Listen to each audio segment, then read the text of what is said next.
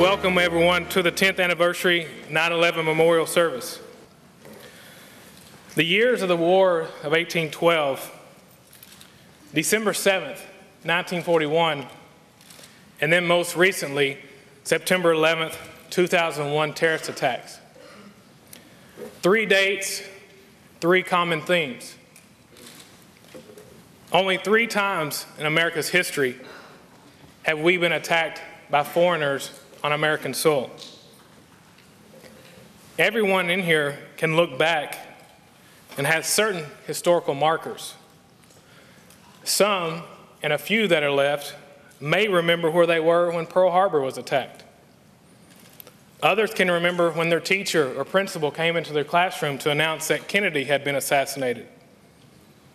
And now, the date of 9 11 will forever be etched in our collective minds and hearts as the date when the World Trade Center, the Pentagon, and other events became historical markers for us all here.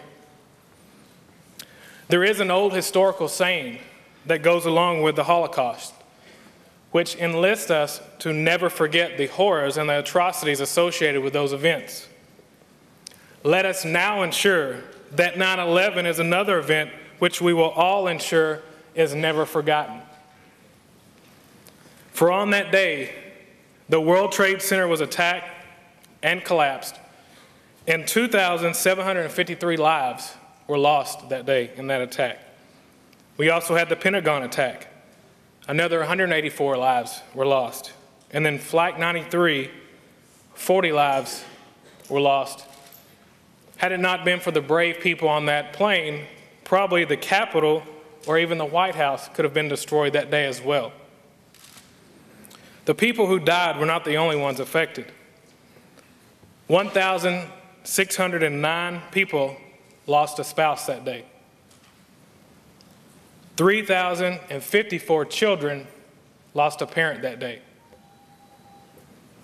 And in the 10 years since 9 11, 5 million soldiers have served in our armed forces, and 2 million have been deployed to Afghanistan and Iraq since that time period.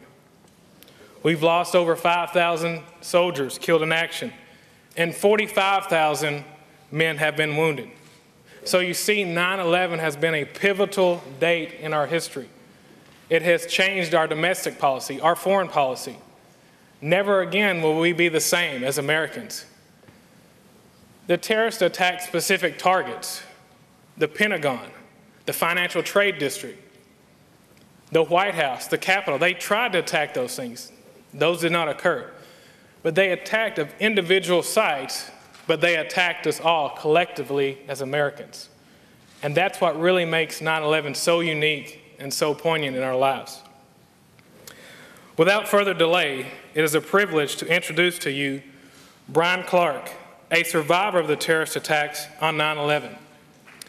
He is here today to serve as an eyewitness to history and to offer you a glimpse of that terrible day which occurred 10 years ago today. Welcome, Brian Clark.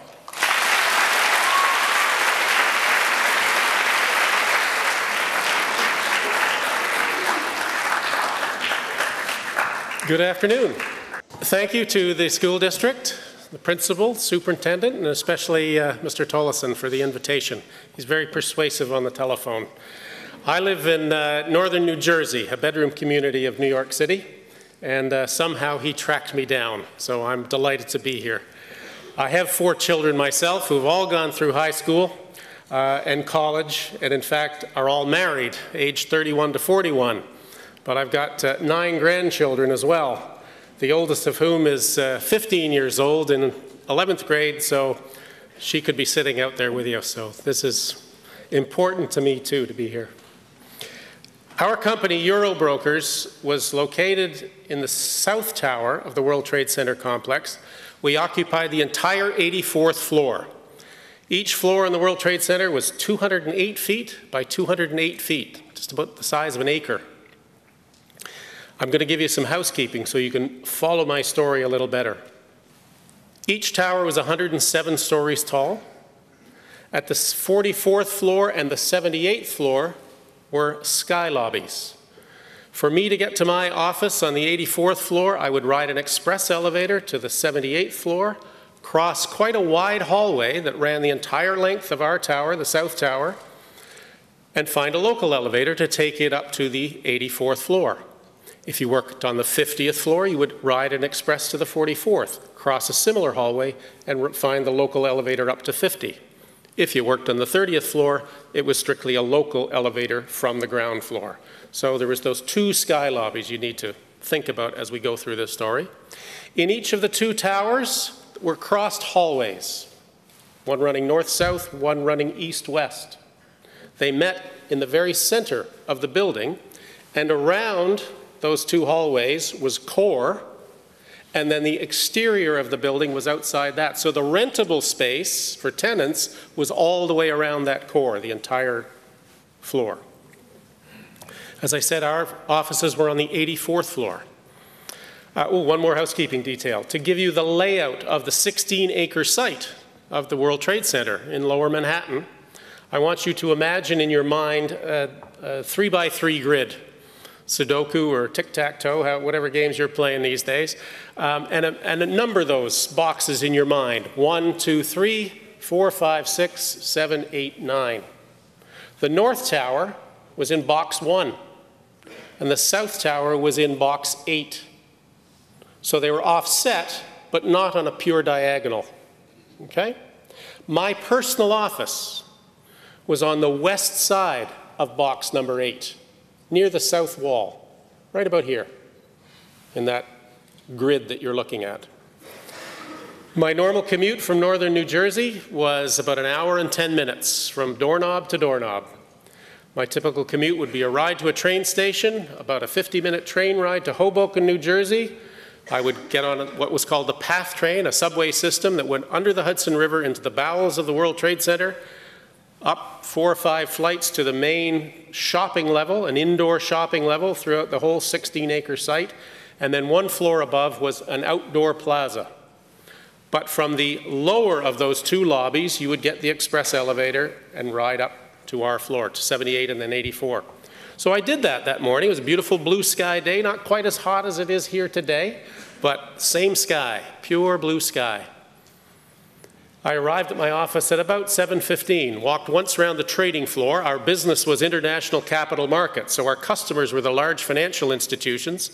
Our customers were Morgan Stanley, Chase Manhattan Bank, Barclays Bank in London, Fuji Bank in Tokyo, and so on, about 300 of the largest financial institutions in the world. We did not talk to retail customers, so most of you have never heard of a company like Eurobrokers. We just talked to the wholesale market. A lot of screaming and yelling on telephones.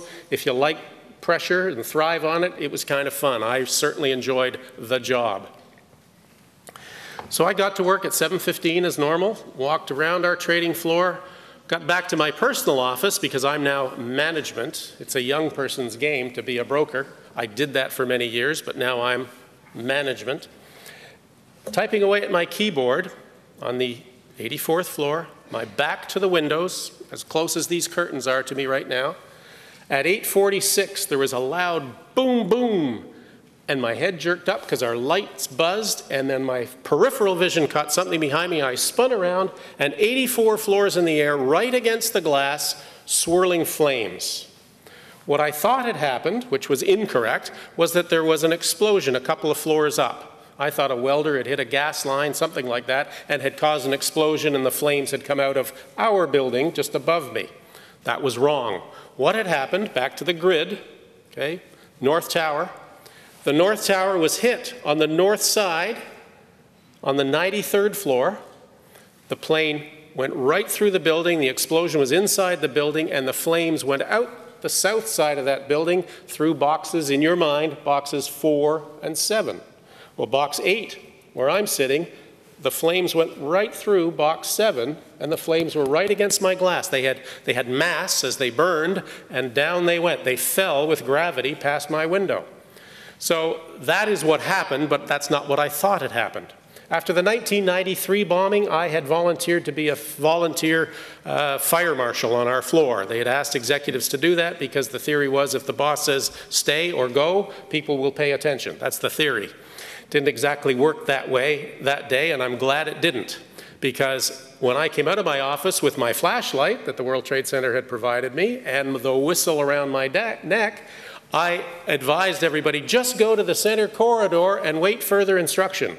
That's what we were instructed to do as fire safety marshals. People did that, but they kept going. Downstairs, down elevators, they just took off, thank goodness. We had about 250 people on our floor, and over the next 15 minutes, all but about 50 people had departed. I came out of my office telling people to begin to move to the center corridors, and the brokers who were on the east side of our floor walked up to the north windows. So they're over here, and they walked up to these windows and could look up nine floors up to the northwest and saw a ring of fire around the 93rd floor. And so we knew fairly quickly the damage was next door. I went into our trading floor up to those north windows, but I had heard that there were people starting to jump. I did not want to see that myself. I didn't want that memory, that image. So I stood back from the glass about five yards. And a girl, Susan Polio, a co-worker, spun around because she had just seen somebody jump. She didn't know people were jumping when she went to the window to look. She ran back to me in tears. She said, oh, Brian, she said, people are dying. And I said, Susan, I know. I put my arm around her. Come on, let's get you a little more composed. And I walked her into that, one of those hallways, walked her from the east side to the west side, left her in the ladies' room in that section of the hallway, went back to my office, and I called my wife in northern New Jersey. Now it's about five to nine called my dad in Toronto, and said, Dad, turn on the TV, just like I told my wife. Something's happened next door, but I want you to know that we're okay. Put the phone down, and the strobe lights flashed. The siren gave a little whoop whoop, and the public address system came on at about three minutes to nine, saying, Your attention, please. Building two is secure. If you're in the midst of evacuation, you may use the re-entry doors and the elevators to return to your office. Repeat, building two is secure. And they went through the announcement again. Well, definitely the pressure's off now. The trouble's next door. We're going to be fine. I continued to the east side, sorry, to the west side trading floor, and I came nose to nose with a fellow named Bobby Coll, C-O-L-L. I said, hey, what's up, Bobby? You know, just started a casual conversation with him. And he was telling me that he had been down five to 10 floors, heard the announcement, and had just run back upstairs because our building was secure. And boom, boom, in the middle of that sentence, our room absolutely fell apart. It was 903. I didn't know what had happened, but I knew in that split second that it was terrorism. What had happened, again back to the grid, the South Tower got hit on the south side. Plane came from this direction, from the west slightly, and hit the far corner, the westerly corner, sorry, the easterly corner of the south wall I've got to do this map backwards to explain it to you. Yeah? Um, and if you've seen the clips, as the plane approached the building, it almost looked like it was going to miss, and it dipped, and the right wingtip went up. And the right wingtip, I learned later from somebody who was closer to the, to the uh, east side of our floor, the right wingtip went right through our trading floor. I was on the west side of this 208 foot wide building, and all I heard was this tremendous double boom again, thump, thump, and as I said, our room fell apart. Everything came out of the ceiling speakers, air conditioning ducts, uh, lighting, the whole false ceiling, of course. Our training floor was up on raised floor, two by two concrete, a couple of inches thick, up on pedestals. All those slabs went out of square. Walls tore at a jagged angle. The room was instantly filled with white, chalky, gritty, filthy air. No smoke, no flames that I could detect at that moment. And then, for the next 10 seconds, I was terrified. And fortunately for me, that was the only 10 seconds of the day that I was terrified. That was the moment when I felt like I couldn't do anything about me. Something was happening to me that I couldn't sort of deal with. What happened was, because we got hit on that corner, the building torqued and it swayed. The building went one direction toward the Hudson River, toward the west, this will sound like a gross exaggeration, but I promise you it's my experience. The building went one way six to eight feet.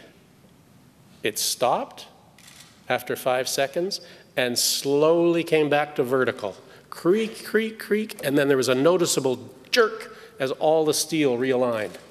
And it was at that moment that I sobered up, if you like, a feeling washed over me. Brian, you're going to be all right. I reached in my pocket for that flashlight that I put in 17 minutes earlier, and I shone it around this filthy, aired room, and I gathered up six coworkers, and I led them into the hallway. And if you imagine this crossed hallway as actually four hallways meeting in the middle, the westerly hallway that we were in had no fire escape in it. As I got to that intersection, my intention was to turn right to stairway A.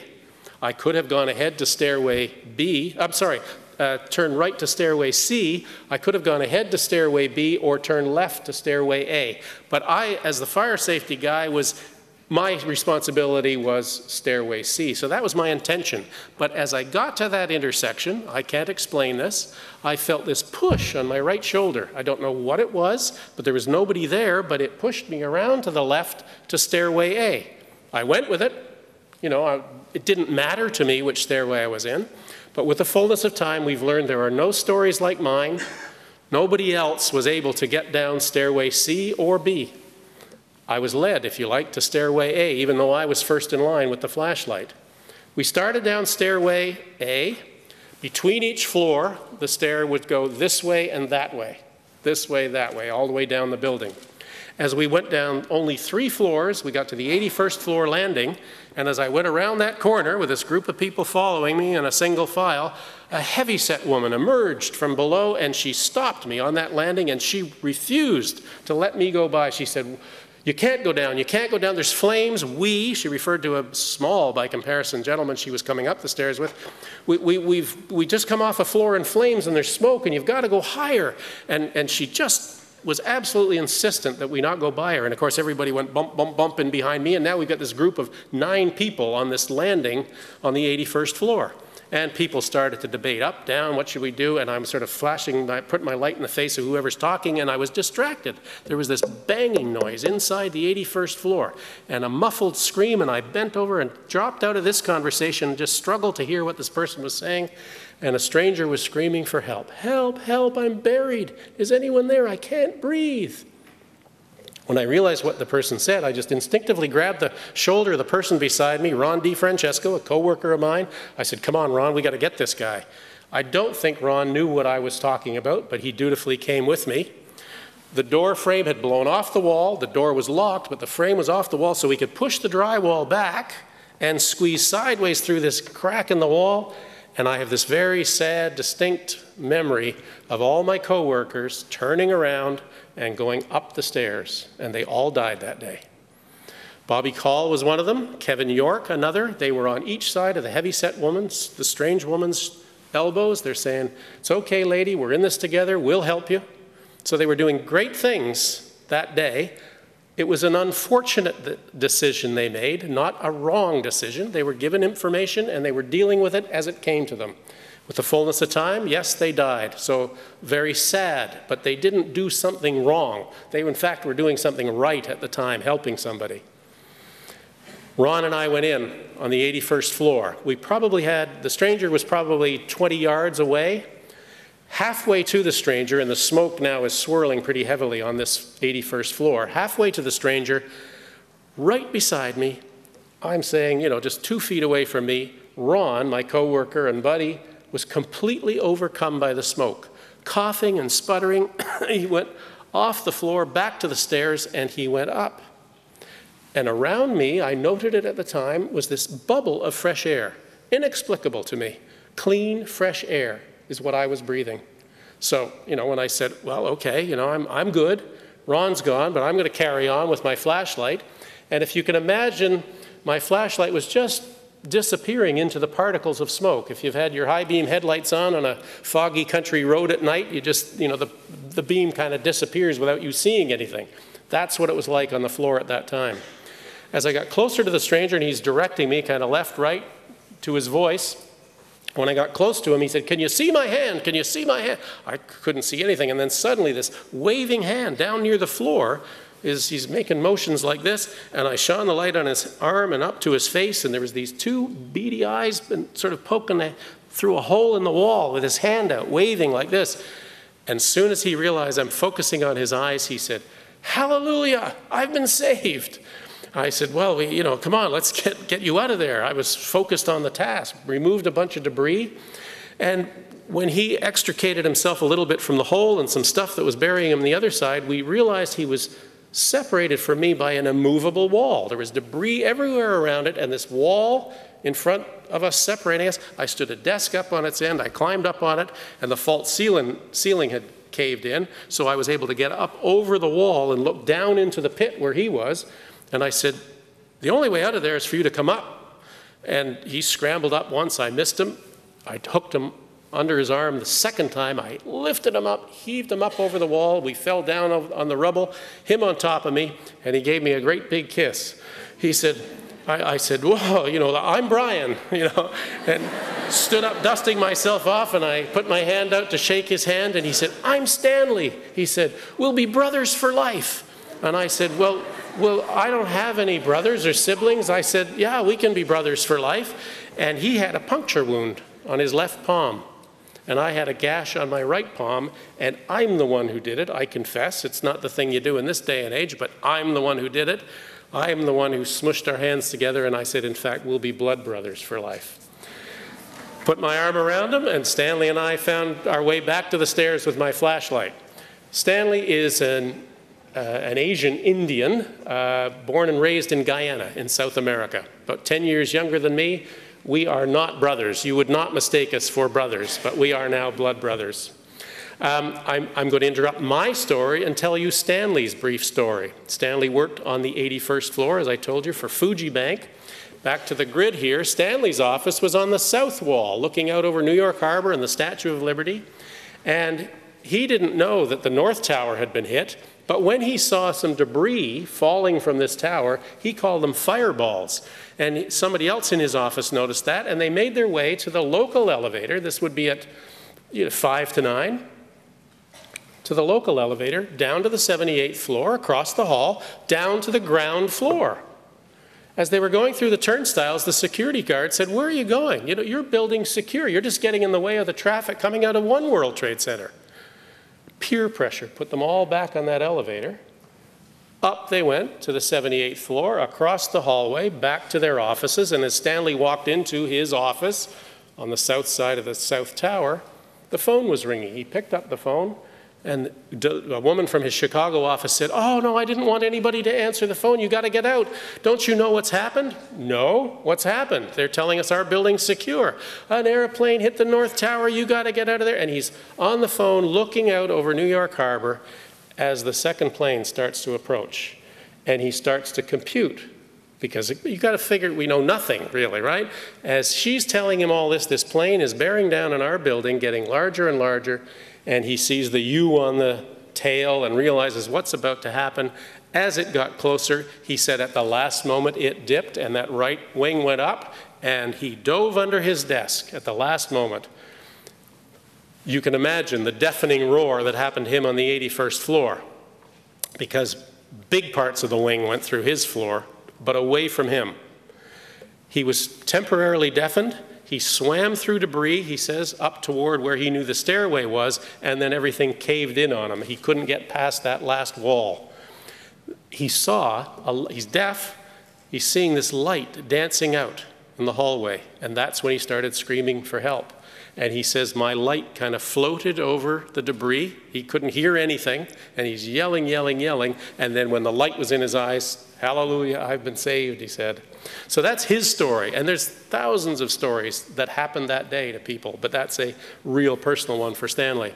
So back we are on the 81st floor. We went out to the landing, and uh, the smoke was coming up the stairs, but I shone my light down, and I thought, I don't see any flames. I got to try this. Let's go. And we stepped. That first step was significant as down we went, removing a lot of debris, mainly drywall, sheetrock that had crashed in on the stairways, water underfoot, smoke. On the 78th floor, the wall was cracked and the flames were sort of licking up through the crack, but we could get by. I don't remember the sensation of heat at all. I'm still in this bubble of fresh air somehow. On the 74th floor, we broke into what I would consider to be almost normal conditions, but for the, an inch of water cascading underfoot from broken pipes, the lights were on, fresh air is coming from below, and I felt for the second time like, we're okay, I'm going to make this. In our entire descent, we overtook nobody. Nobody overtook us.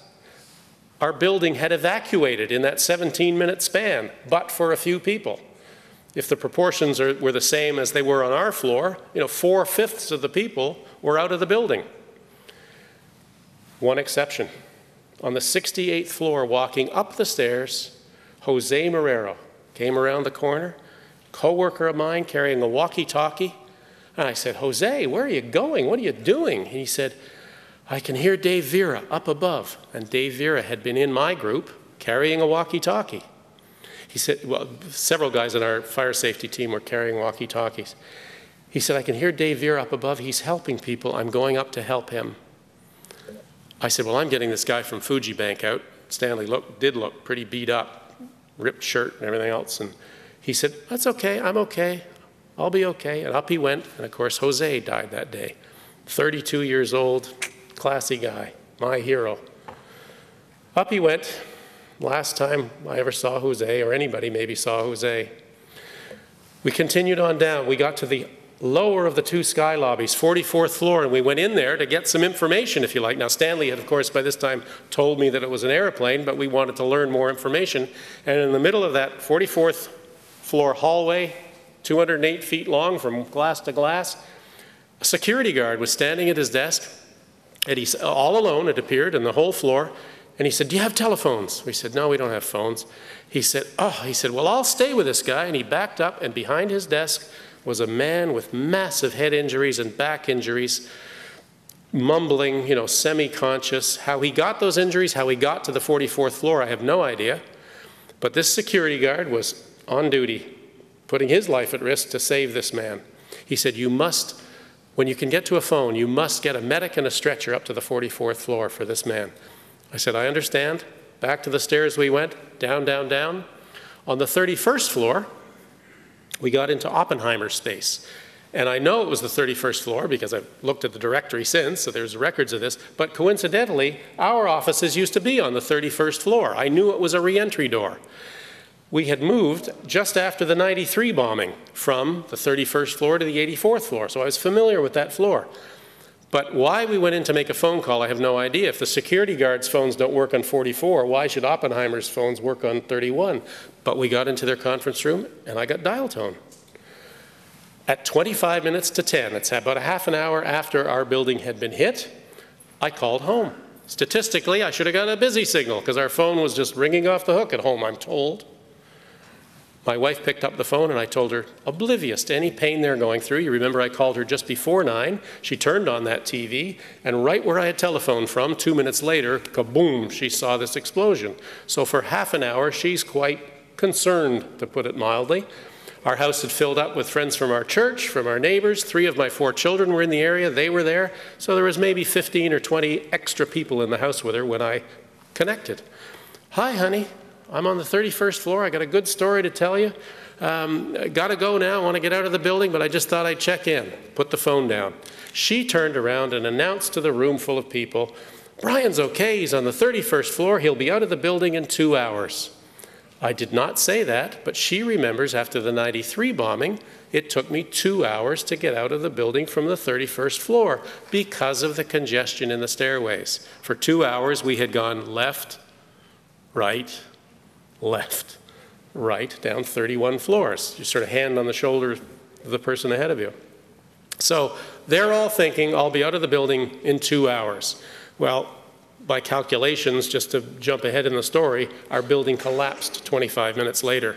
So you can imagine what was going on in everybody's minds back at my home. Stanley and I, he called his wife at, at her workplace. Actually, he didn't connect with her, but he left messages. Um, and I called 911, the emergency number. I was on that phone call for three minutes and 17 seconds. And I know that time exactly because I listened to my own recording about three months later when the 911 Commission did all their interviews. I was transferred twice. I talked to three different people to tell them about the man on the 44th floor. That's how chaotic the emergency number was that day. I recognize and acknowledge it was unprecedented conditions, but in an emergency of that magnitude, you would like to think you just have to tell one person the details and then get the heck out of there. But for three minutes and 17 seconds, I talked on the phone. Some of it, sections on hold. Back to the stairs, down, down, down. 15th floor, I said to Stanley, hey, cool it, Stan, you know, we're, we're, we're moving too quickly here. I don't want to come in tomorrow, you know, to come clean up my office, uh, come in on crutches. Little did we know what was about to happen. So we slowed down a bit, got to the plaza level, which is the upper of those two lobby areas that I was talking about, and we looked out, here we are, back to the grid. We're looking now at box five, where the fountain was, and flowers, and tourists, and vendors with their carts, and business people coming and going usually. And we're looking now at an ashen gray space, looked like an archaeological site that had been abandoned for uh, hundreds of years. Carnage, I didn't see any. I don't know if my mind is blocking that out, but I saw no bodies, thank you. Back behind us was an escalator. We went down that. The electricity was off. At the bottom of that escalator, a female security guard or female policewoman, I'm not sure, but a woman at least, uh, said, uh, You can't go through the lobby here, guys. To, here we are in this tower. Can't get out on Liberty Street. You got to go through the shopping area and out box number nine. She didn't say box nine, but you know what I mean. So I said, Okay. So we walked very casually through the shopping area. There was no panic. There was firemen pulling on their gear, thinking about what they were about to do. Um, as we got to the doors to exit on the south side of box number nine, it was actually four World Trade Centers, the, the legal address, um, the fireman at the door said, Oh, guys, if you're going to go out here, you got to run for it. I said, What do you mean? He said, Well, there's lots of debris falling from above.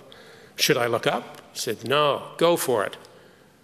I couldn't do that, so I kind of you know, went out and snuck a look up, saw nothing coming. I said, Stanley, are you ready? I don't see anything. And he said, okay. And I said, let's go. And we ran for a block and a half.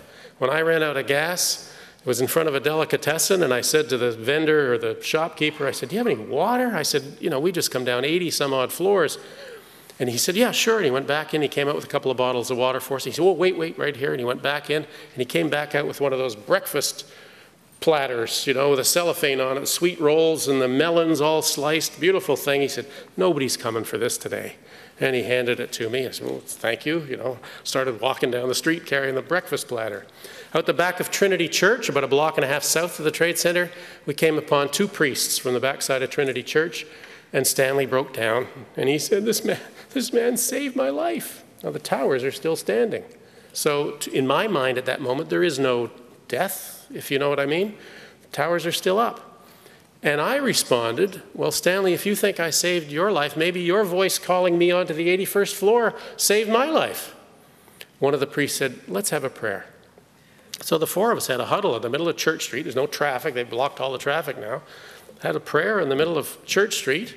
And uh, then the other priest said, You know, Trinity Church is open if you'd like to go in. And Trinity Church is on Broadway at the head of Wall Street, if any of you have been to that area and it was about another block south. So we kind of eyeballed each other and said, yeah, let's do that. So we went a block south, walked up Rector Street. Now, Rector Street is a, is a street that has a bit of a hill to it, and the cemetery at Trinity Church is above up here. So as you walk up the hill in relation to you, the cemetery kind of drops.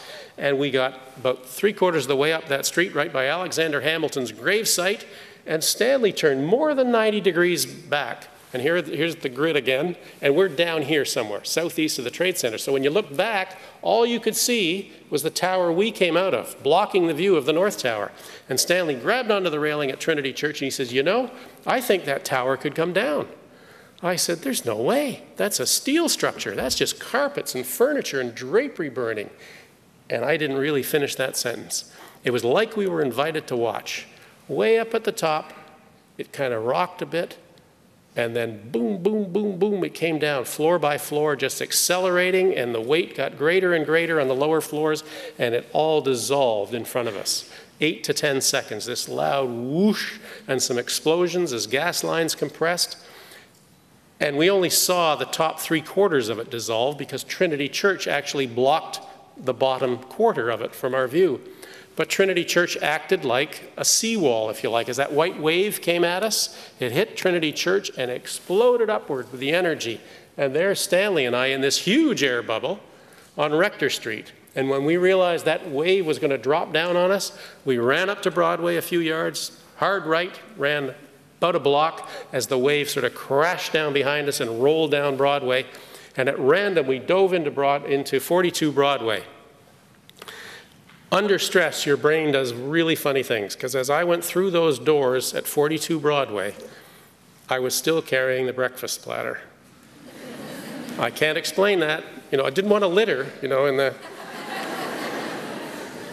but as we went through the, into that lobby, I put this breakfast platter up on the reception desk, and 25 strangers who did the same as Stanley and I were all nourished. In the midst of that chaos, we had sweetness and wetness, and it was a wonderful thing.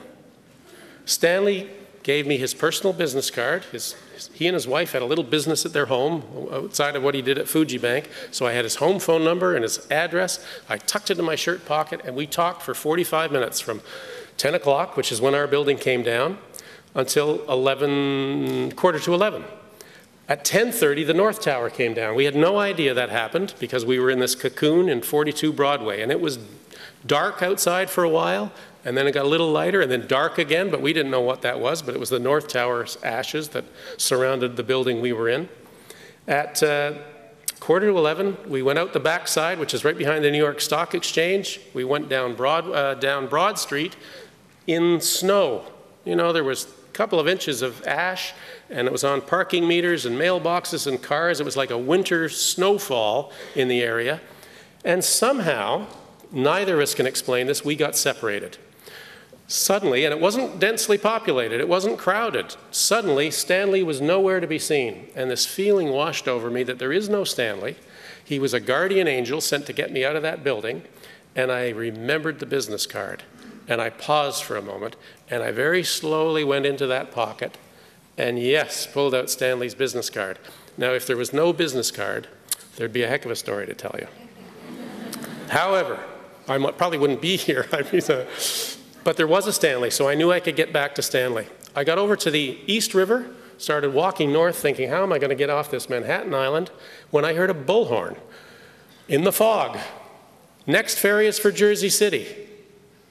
They don't have ferries over here for Jersey City, but I ran down this pier. I asked again, yeah, that one's going to Jersey City. I, I, that's in New Jersey. That's good enough for me. Didn't have to be my hometown, just get me across the Hudson. I jumped on the ferry and they closed the door behind me. I was the last one on that ferry. It left the pier, it chugged down the East River, around Battery Park, northwest across the Hudson, and as we broke, and everybody's on the ferry, da, da, da, da, da, where were you, what did you do? And uh, it, the cacophony on that, the noise, that it was a din on the ferry, and we broke into the fresh air, and then everybody could look to the east and see the hole in the sky. We all realized for the first time the enormity of what wasn't there. It was surreal. I had worked there for 27 years, and those towers, those immense towers, were always there, and now they were gone. It was something unimaginable. It didn't make sense. And at that time, my mind was protected because I'm thinking, wow, that's hard to believe. Gee, how could the steel do that? And all that stuff. I was not thinking. I wasn't frozen in terror. I wasn't thinking horrible thoughts of bodies being crushed. So somehow I was protected. It was a gift I accept. I don't take any credit for. Credit for it. It just happened to me. That's my experience. When we got to Jersey City, being the last one on the ferry, I was the first one off. I ran down the pier into the ticket booth. I said, Can I use your telephone? The lady slid it across, sure.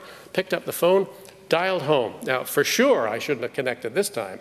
And it's now 11:15, an hour and 15 minutes after our tower collapsed, and my wife thought an hour and 15 minutes earlier for sure I was gone, as did the rest of my family and friends. And oblivious to any pain they were going through, because I was, I was fine. I knew I was fine. I called home. It was the first time that my wife came in from an hour and 15 minutes of pacing outside. She came in to get a glass of water in the kitchen. As she went by the kitchen phone, it connected. She picked it up and she said, I knew by the crackle on the phone that it was you. Now, our phone doesn't crackle, but there was this energy there that she sensed it was me. And again, oblivious to anything they were going through, I said, Hi, honey, it's me. And she fainted away. I really didn't talk to her. A man picked it up and said, Who's this? And I said, Well, who's this? You know, what's a man doing in my house? He said, It's Dave. I said, Oh, hi, Dave. I, he said, Where are you? I said, I'm in Jersey City. Like, don't you know that? I mean, was, I was clueless, clueless. I, he said, We'll come and get you. I said, They're not going to let anybody in here. He said, I said, I'll walk up to Hoboken. He said, I'll get a train home. I'll be okay. I, and, I said, I, I got to put the phone down. Somebody else wants to use it. I sensed there was somebody over my shoulder. I put the phone down, and there were 40 people in a line wanting that phone because no phones worked in lower Manhattan. So there was this phone waiting for me. I walked 40 minutes up to Hoboken train station with hundreds of other people. As I walked into the station, the public address system announced at five minutes to noon, it said, the 1130 Bergen County train, my train, which has been delayed, will be leaving in five minutes. So they even held a train for me that day. I got on that train, it was a bit of a milk run because it was kind of a special train, you know, letting people off at every stop. When I got to my car, train station way up the line, drove home, it was 1.15 before I got home, but as I went in that driveway, horn blaring, big love fest on the front lawn, as you can imagine. So I was home at 1:15 and I was above impact. There were people stuck on Manhattan for a couple of days and they were maybe up on 23rd Street, a mile away from the Trade Center. I don't know how to explain how all that unfolded for me that way, but that's the experience I had that day. I had the card now from Stanley. I called him, left a message. He was at the doctor's getting fixed up. he called me at, I finally got to sleep about 11 o'clock at night, and he called me a little after midnight to say that he got the message. So we had our first conversation early morning on the 12th. Um, media somehow got onto this story, and Stanley and I have been busy ever since talking to church groups, business groups, charity groups, school groups about our experience.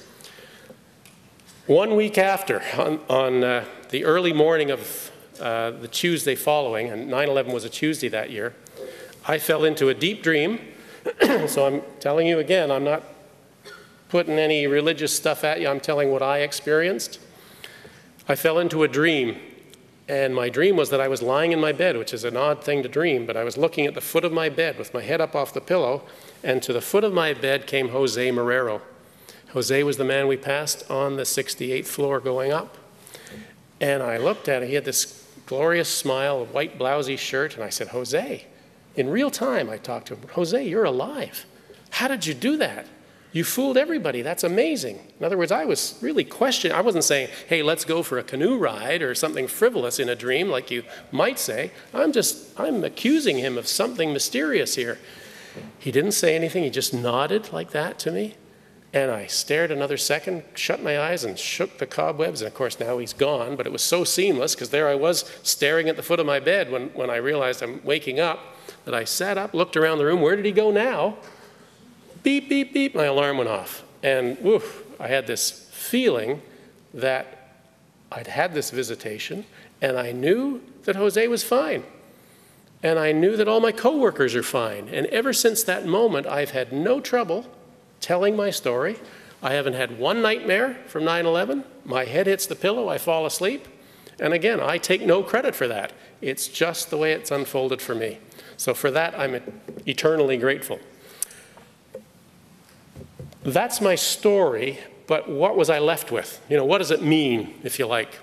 I have found over the past 10 years, gosh, but it came fairly quickly so this has been my experience for almost the full 10 years, that it's a waste of time to worry about unanswerable questions or try to answer them because they are unanswerable. You know, why me? Why not someone else? Now, that may be easier said than done in a lot of cases, but if you logically think about it, they are unanswerable questions.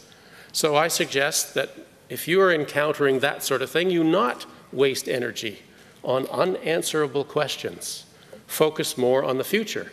Now, when you do that, you know, it's an attempt to move forward, and it's a help to move forward, believe me. Don't worry about the future either, because you cannot, you cannot say with certainty what the future is going to be, how it's going to unfold. It's great to have plans. I planned to be here today, and it happened. You planned to be here, and it happened. But boy, I could have had a flat tire on the way to the airport this morning, missed that flight, not been here. Whatever it is, you can't say with certainty what the future is going to be. Don't worry about it. It will unfold, you'll adjust. Well, if you don't dwell on the past, you don't worry about the future, it leaves you with the present. So that's where I live, very much in the present. Every day is a great day, some are just greater than others. And I know that's a cliche. Another cliche is, you know, life is very precious, but you know what? Cliches are truths, and that is so true. Life is very precious.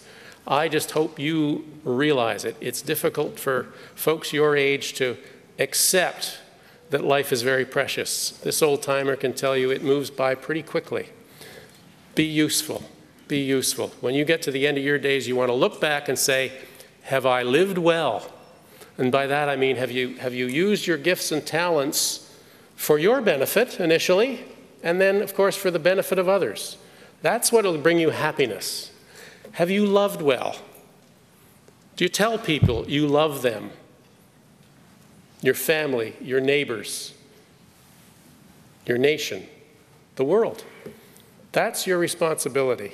So get rid of all the petty hates, the bullying, the whatever else might be going on in your mind. There are, sure, there's always cool kids and uncool kids, but I suggest if you just look a little deeper behind that facade that you're all great kids and, and live well with each other because you're going to at the end of the trail, if you've lived well and loved well, you're going to have a legacy that the world will have been a better place for you having been there.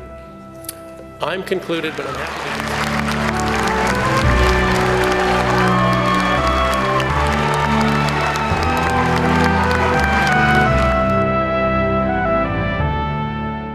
Concept that their life is a gift and they should celebrate that every day. That's, that's what they need to know. You know, life is precious. That, that's the big message. And, and just don't take it for granted. Do some good things out there. And I did encourage them to do that.